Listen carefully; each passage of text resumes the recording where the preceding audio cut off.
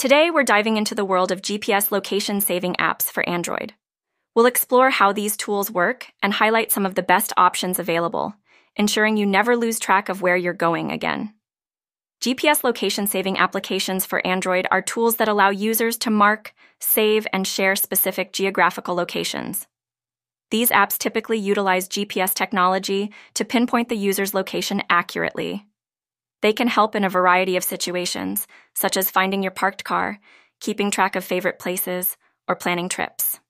The best GPS location saving apps often come with features like offline maps, integration with other apps, and the ability to customize saved locations with notes or tags.